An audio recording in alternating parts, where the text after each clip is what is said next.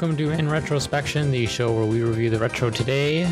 I am Joshua Caleb, joined today by both Graeme Ellis and Dustin Schmidt. Hey How's guys, it going, fellas? pretty good. Yeah, finally got some new internet, so hopefully this should go smoother than normal. That looks pretty smooth on my phone. Yeah. yeah, so I don't know if you guys caught anything from that intro, but apparently stars live underwater, Cool.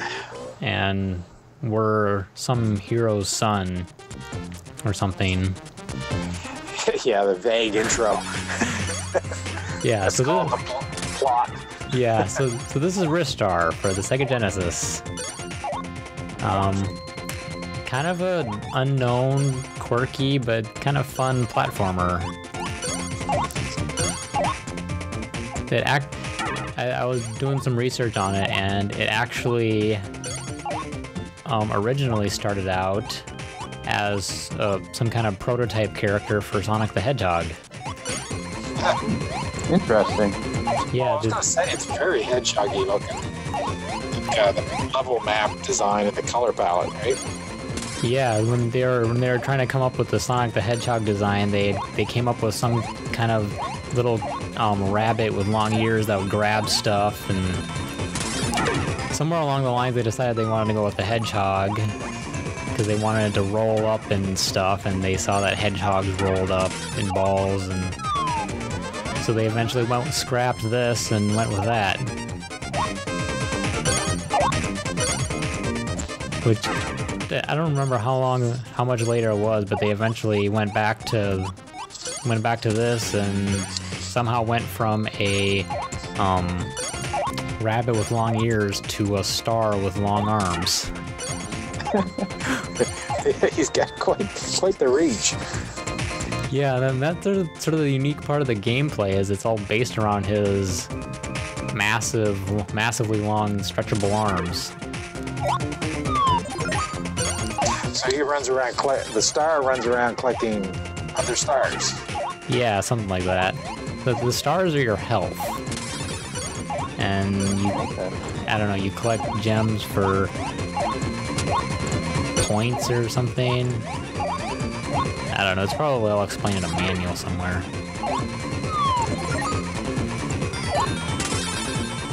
Oh yeah, there's these, these star handle things.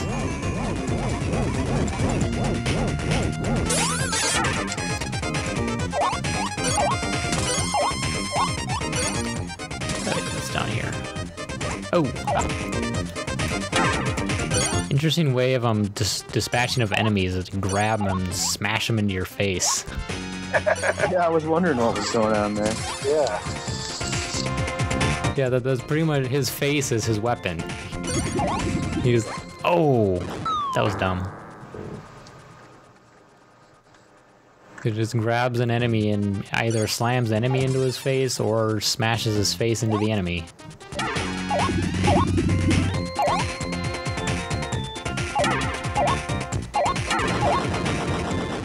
That was easy. That was different. Some of some of the enemies remind me of the beans from Robotnik's Mean Bean Machine. Yeah, they probably were repurposed.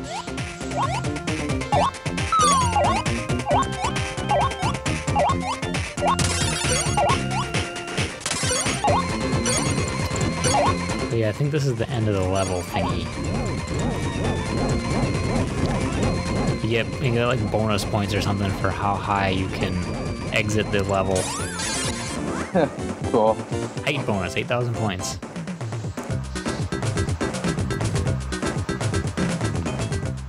Dark Woods. Has a very Sonic feel to it. Yeah, very. The the the soundtrack is definitely that same sort of s- style. I don't know if that's like J-pop or what that is.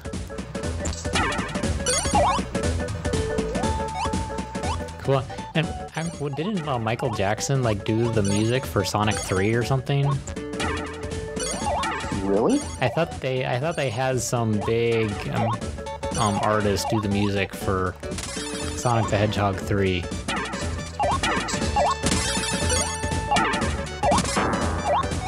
Ooh, the gem.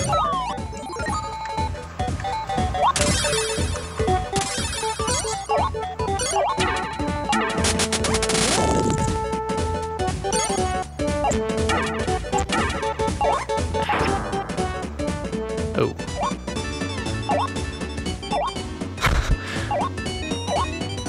um, there.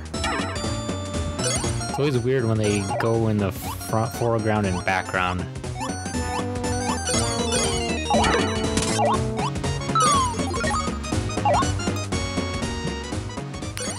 So I'm assuming I'm the only person who's played this game. Yes. well, I at least I haven't. Yeah, I never owned a Genesis. Um, it was something I played when I worked. when you used to sell these things at the Kmart, for example. But, um, but uh, it, uh, it was always a fun little system. Of course, Sonic was like the Sega game. Yeah. See, I I had all the Sonic games. I never actually had this one. I only played this when I got a GameCube and got the um, Sonic Mega Collection. This was one of the games they just they threw in there. Well, that's one nice thing that uh, Sega has done is they've, uh, you know, they don't lock. Uh, well, I guess they don't make consoles anymore, so they're not locked to producing uh, games just for their own consoles. Uh huh. On the Wii, put them on the Xbox, on the PS, or whatever. Yeah, because you, you can get this now on the Virtual Console on the Wii, as well as on Steam. Oh, that's interesting. Got dark.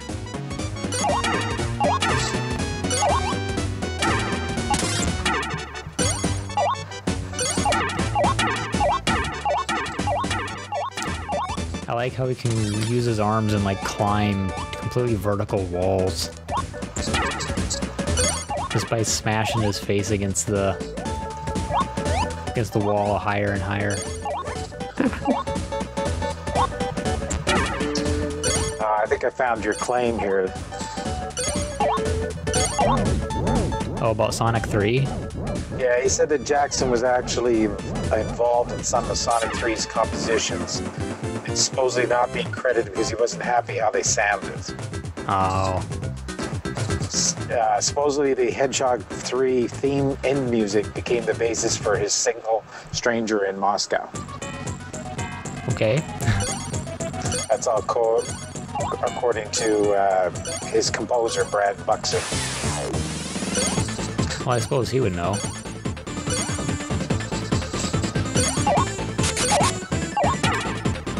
But I think the, the music in Sonic 3 is pretty good. I don't suppose. Well, there's a, there's a lot of, uh, you know, it's considered pretty dubious that it, it is or isn't because there's no official, you know, from the family itself. So, Oh, yeah. you know, you have to take that for granted. Yeah, and I suppose, um, video game music didn't have quite the respect uh, it does now.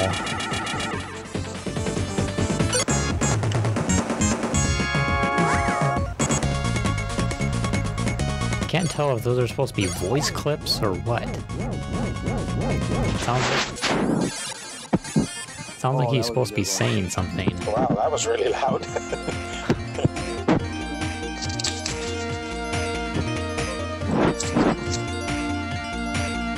Surprised there aren't any like shooter levels in this game, considering we're traveling through space.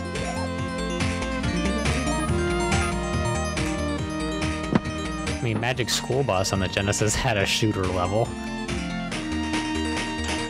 That's funny. I know, that was really crazy. That's educational. Yeah, because you're flying through the asteroid belt shooting asteroids. So that's educational. Hmm. Ooh, now we have an underwater level. Yeah, so why are why do stars go underwater? This is totally Cool off, just like everybody else. this is totally Sonic the Hedgehog 3 Hydro City. Just more colorful. Sonic gets darker the deeper you go. I'm kind of digging the music though.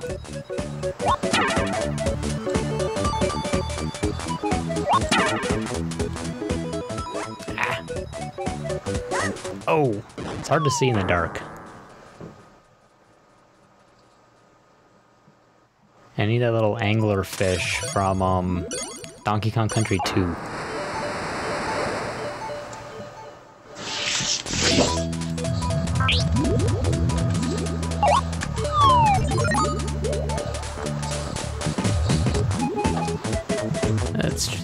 Stay up here. Ah, I have to go down. It's almost got that Donkey Kong underwater music. Yeah.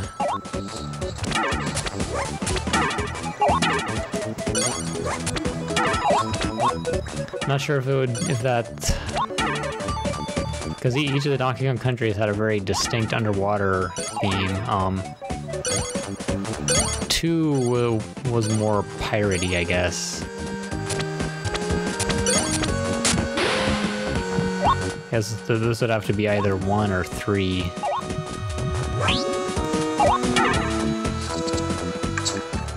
Oh, is that a treasure chest? Ah, more star.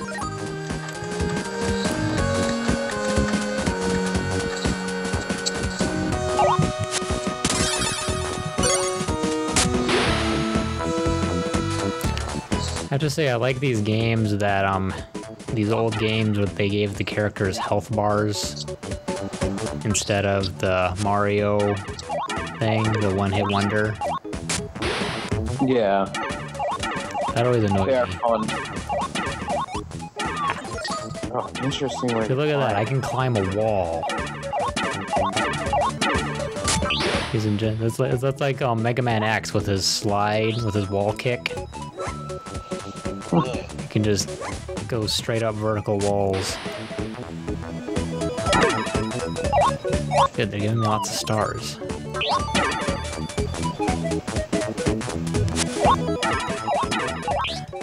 Ah. Let's see if I can get up. Ah, it's, it's that last that last bit that you you can't quite make it jump. Those look spiky. Ah, where did they come from?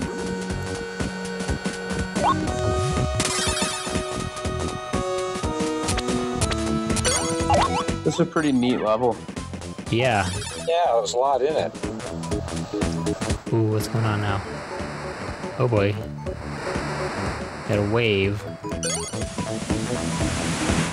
Oh. Hey! I grabbed him.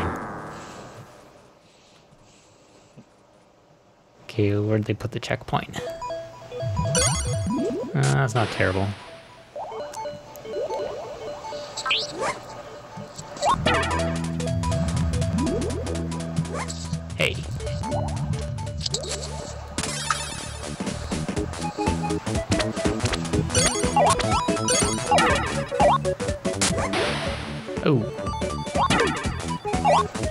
Blue star. Okay, blue star is full health.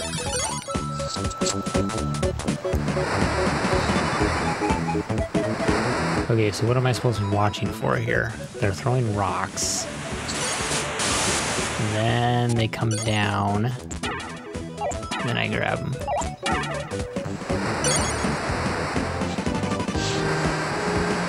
Very creative mini bosses.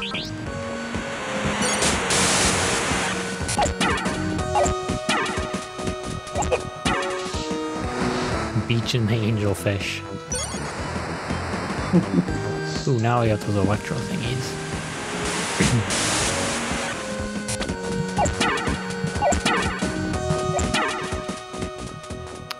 Is that it? Okay.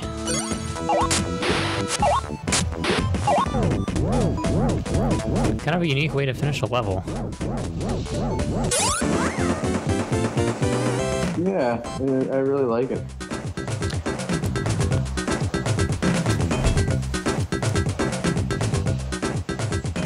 Have to say, this actually probably controls easier than um, Kirby did, Really? Okay. surprisingly. The, the arm thing takes some getting used to, but actually... See, he, he's not nearly as floaty as Kirby was. Kirby was very floaty. no, I He was like a balloon.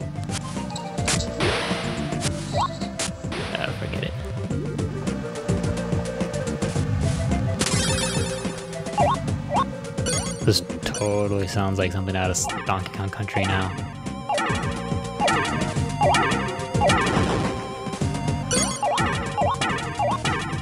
I supposed to go up here? No.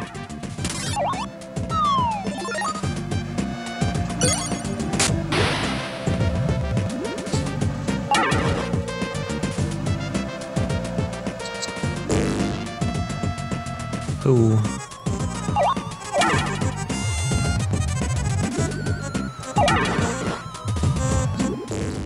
Like, um... The... Labyrinth zone on the first Sonic the Hedgehog. You have to find the switches to open up the doors. Okay. Which, where is the switch for this one, or do I have to destroy that seahorse dude?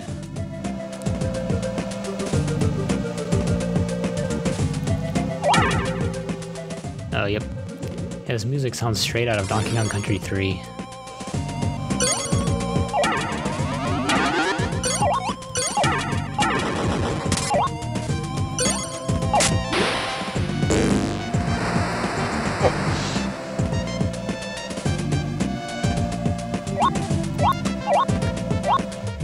Where am I supposed to go? Ah. Oh, they can hurt me.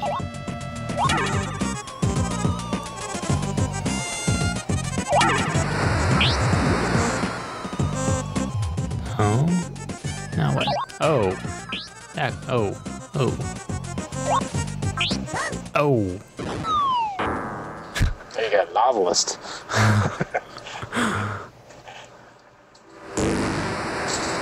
I love his health bar just comes down and donk, donks him on the head.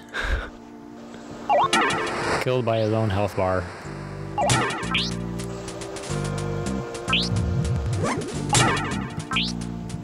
Hey.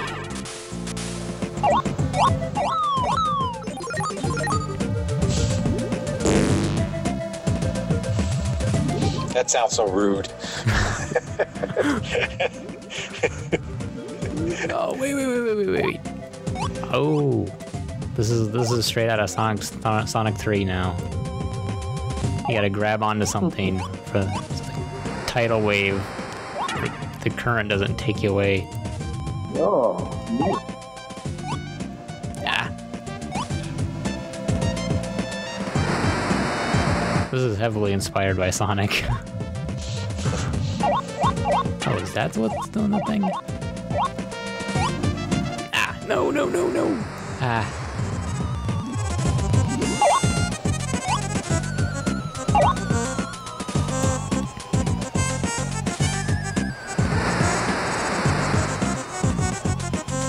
Yeah, you can see the paper where it's when it slows down. Yeah.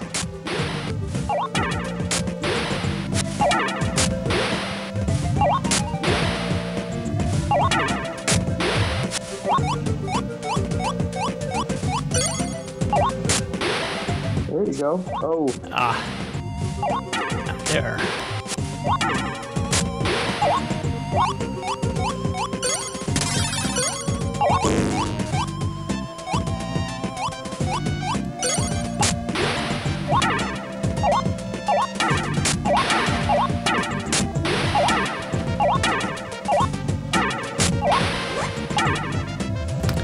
Oh, right. Ow. Ah, I missed it. You slip through your fingers. Oh, literally. Uh, oh. There we go. Take that away. And then, oh, that was nice.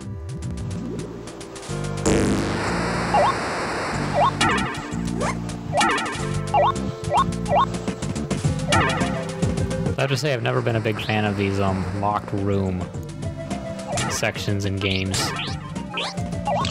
Ah. Yeah, well, you get those in everything from Lara Croft to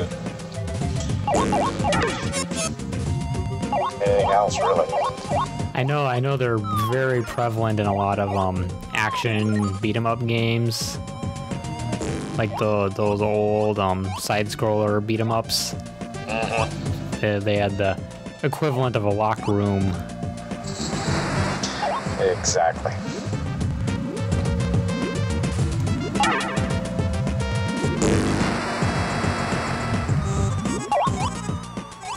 Ah! They just keep throwing stuff at me. Oh, I missed one.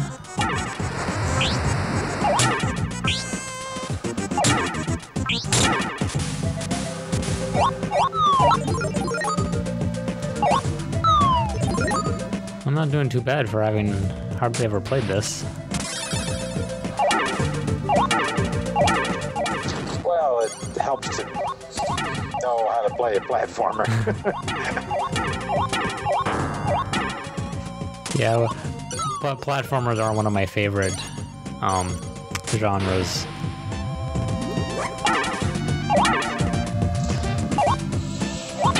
Even though I'm not very good at um, oh, something like N plus.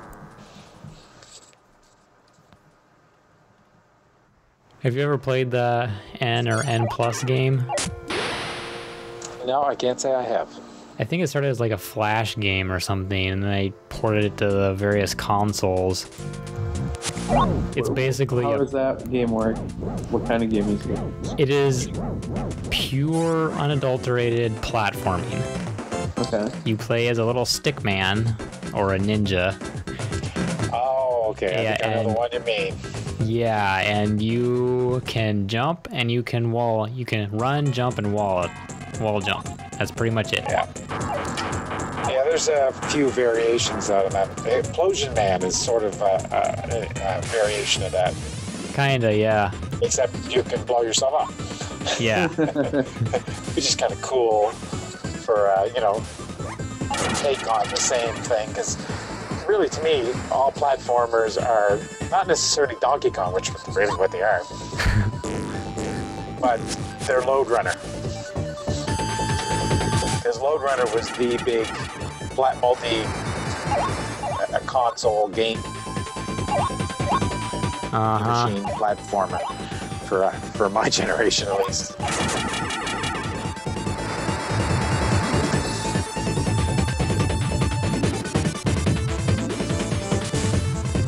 And I'm surprised it really hasn't made a comeback in some of the uh, larger systems, you know, like uh, tablets and so forth. Lode Runner? Yeah, That is weird because they released the that remake on the Xbox Live. Now that's pretty fun. yeah, but they didn't really release it for anything else, you know, like No.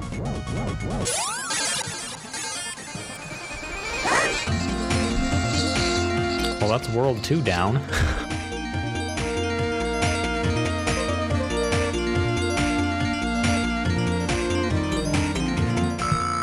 this seems shorter than a normal platformer. I guess it depends on how many how many stages there are. Kason- Kasonic only has like two or three stages per world. Yeah. I'm, I'm thinking Donkey Kong Country, where you have like six stages to a world or something.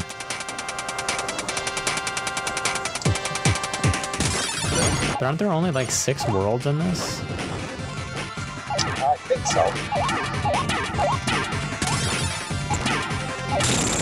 Ooh. Just about every level in this is like inspired by Sonic 3. What the heck? Oh. Oh, I get it. Puzzles.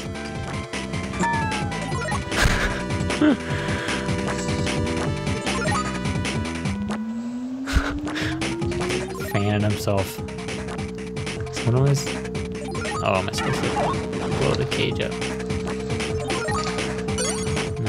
This originally came out in 1995. So that was pretty late in the Genesis life cycle, wasn't it? Mm-hmm. And imagine you were saying that they had the game probably partially developed. And Yeah, a lot of the probably. Sorry. a, lo- a lot of the concepts were. Yeah, they probably put it out just to get it out, like to have a game out. Yeah. Because I mean, let's face it, it's it's a neat take on Sonic, but Yeah, it's like, it's like a completely repurposed Sonic the Hedgehog. yeah.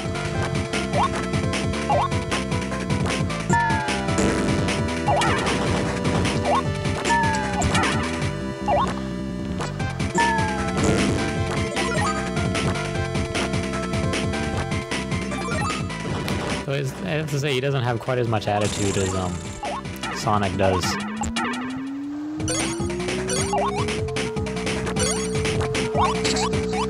Oh, oh, oh, nope. Fire, fire bad.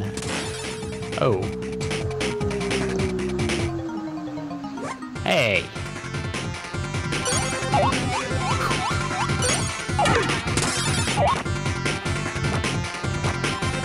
Oh, oh, um, oh, there's a.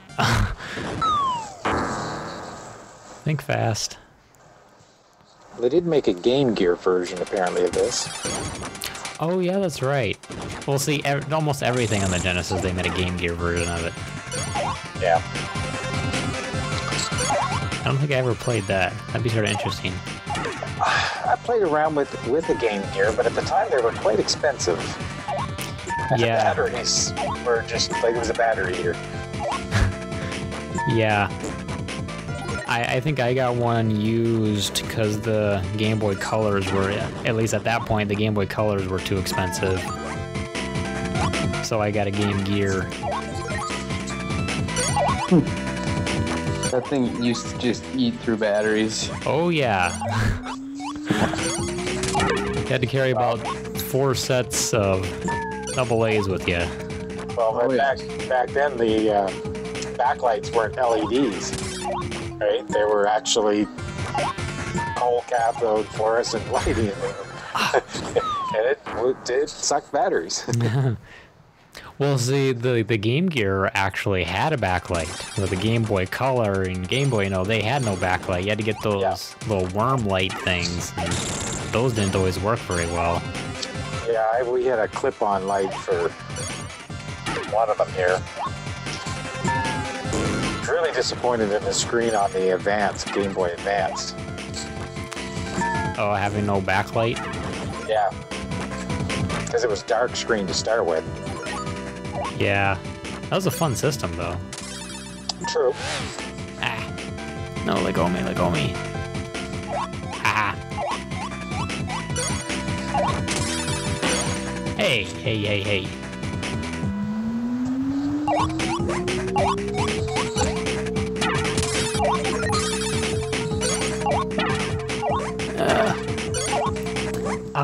Trying to aim his arms is probably the hardest part of this game.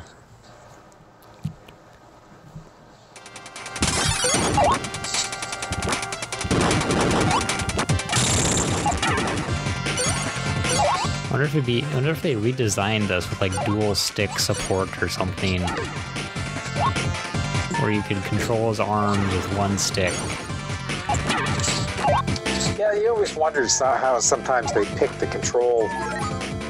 I mean, sometimes it was limited to the controller that you had, right? Uh huh. But uh, you often wonder if they could repurpose some of the games with a better controller. Yeah, definitely, because some of them are not easy to control. Mm-hmm. I think some games would be better with a little different control, like uh, using the dual analog sticks on some other controllers that today they have, rather than the single stick or the D-pad that they used to. Uh huh. like um GoldenEye or some of those early shooters and stuff. Yeah, yeah.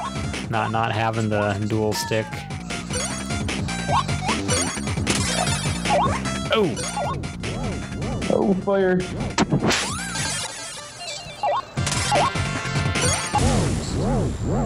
Ooh, everything got dark. Oh, bonus area. Huh. That's a, that's like um on Sonic Rush for the DS. They actually use they actually have the bonus rounds like this where you have to get grab some kind of handle like that and spin it around really fast to get to the bonus round.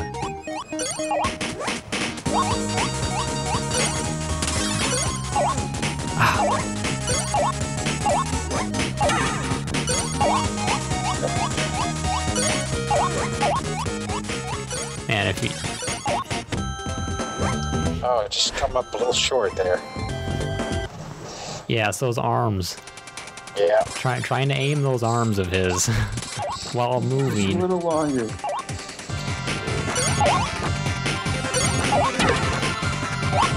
And the problem with some of those bonus rounds is often you don't get get into them enough to actually practice at them. Well, yeah. You- they, they give them to you for about 30 seconds, and that's just enough time to figure out what the heck you're supposed to be doing.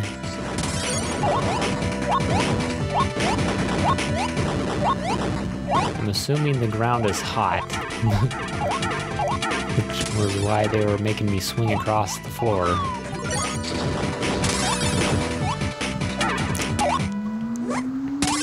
The mechanics are kind of fun though. When, when you get when you get into it, moving with with his arms. What? Hey, what? Oh wait, is this? Is this like a? Oh, is that like a memory game? Not sure. He kept saying hey, and then it went one, two, three, four.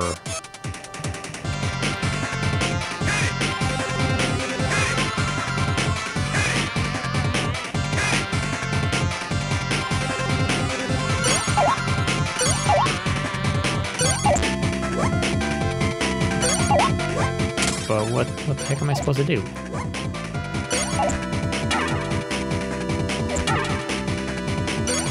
I had to break them in that order. Yeah. Okay, so I got a gem. Wait, what? Uh, so now they don't give you the numbers. Ooh, I got a star, so that was good. Oh, oh, oh. Oh boy. Um, that. middle. Oh, Yeah, it was the middle. The lower middle, that is. Yeah. So that was uh, was Simon. Wow. okay. Well, I don't know how long we've gone for here, but that was probably a pretty good look at Ristar. I'd say. Yeah, really cool, interesting game. Yeah. According to uh, the wiki on it, uh, it was uh, one of the reasons it wasn't very successful is it came out a few months, only three months before the Sega Saturn was released. Oh. But then the, So it Sa- got but, probably overshadowed in the release of the Saturn. but the Saturn tanked. Uh, yeah, it, it tanked because it was expensive. Well, and there were no, no there were no games for it. And there wasn't a whole lot of games for it except for Panzer Dragoon. Yeah, they didn't, they didn't even get a whole. the, they didn't even get a Sonic game for it, so they had to repurpose Sonic 3D Blast to work on it. Yeah. And then, interesting. yeah, It was interesting because uh, it helped the other companies kind of figure out what they really needed to do based on the failures of the Sega. yeah, you had to have uh, an Uber game, like a killer app type game, yep, right? On the release, you had to have X number of games. You know, and uh, if you look at every console that succeeded after that, that's basically what they had, right? Yeah, though, except the GameCube. The GameCube had Luigi's Mansion. Uh, true, but the GameCube was also backwards compatible to some degree with. Uh, so the backwards compatible with one of the systems? No, GameCube. Oh no, sorry, it was the next one that was backwards compatible. Yeah, n- none of Nin- Nintendo has never been very good about backwards compatibility except with their portable systems. Yeah. The new one is the new Wii is not backwards compatible with the GameCube. Nope, they ditched that, and you never know it. Like the only difference is the the letter, the word "Wii" is like is horizontal rather than vertical or something like that. It's blue. Yeah, and and that and that makes it uncompatible with GameCube. yeah. Well, anyway, um, if you want to find some more retro reviews, you can check that out at my blog, Retro Games Forever, or I'm writing more stuff for Retroist at retroist.com. And of course, follow me on Twitter at JoshuaCaleb75. And how about you guys? What are you, what are you guys up to these days? I'll go ahead, Dustin. Oh, okay. I wasn't sure. Oh no, nothing. Just moved halfway across the country, but you can you can still find me on Twitter. Same handle as before, Schmidt DA. Yeah, and I'm on Twitter at uh, smoke me underscore a kipper. Uh, uh, Red Dwarf fans will know what that means. A new new season of Red Dwarf's coming. so I'll put my plug in for that. When is But, that uh, coming? Uh, they're filming it now, so it'll be out Okay. probably in the spring of this year, or next year. I mean, it's, uh, season ten, so it's Red Dwarf X. Ooh. Got a cool name like that. Yeah, I love that show. but uh, anyways, whether I play in them, but uh, hopefully uh, you uh, you guys can uh, go back and go through some of the stuff that we did before on J- Joshua's blog. Yep, I'm working on posting more of it to YouTube now. You can find that at my YouTube channel, which is like, I think that's Joshua Caleb 25 as well. And you can find this neat little game on the Virtual Console and on Steam. So. On Steam too. Yeah, that's nice. As well as in various Sega Genesis collections for all the various consoles. So that will do it for the, us this week, and we will see you next week in the past.